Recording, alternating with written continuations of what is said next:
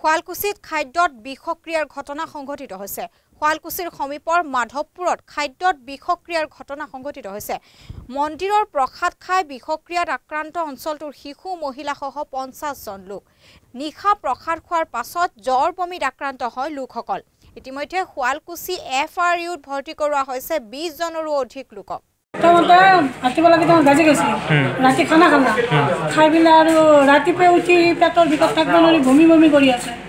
কৰি এতিয়া আৰু এতিয়া উপায় নহ'লে কি কৰিম আৰু মই। মেডিকেলক লৈ আছোঁ আৰু। প্ৰসাদটো ক'ত খাইছিল? প্ৰসাদটো ঘৰত আনি খাইছিল। নিমখে দিবা আছিল। অঁ কিহৰ প্ৰসাদ আছিলে এইটো? সেইটো মুগৰ। মুখ প্ৰসাদ।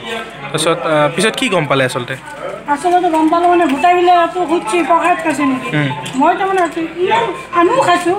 মাংস ভাত আমাৰ বোৱনী খাইছে বিছতে একো হোৱা নাই কিৰকিয়া হ'ল মই অনুভৱ কৰি আছোঁ এতিয়া মেডিকেলত আহোঁতে গোটেইখিনি গম পালোঁ মানে প্ৰসাদ খোৱা সকলোৰে হৈছে ন প্ৰসাদ খোৱা গোটেইগিলাৰে হৈছে আমি তাৰমানে গম কি কি হৈছে বমি বমি পায়খানা চাৰিবাৰ পাঁচবাৰ পায়খানা কৰিছোঁ পায়খানাটো বন্ধ হ'ল জ্বৰো উঠছি কিমানজনমান ইয়াতে মানুহ হৈছে বহুত মানুহ ন বিছজনৰ বেছি আছে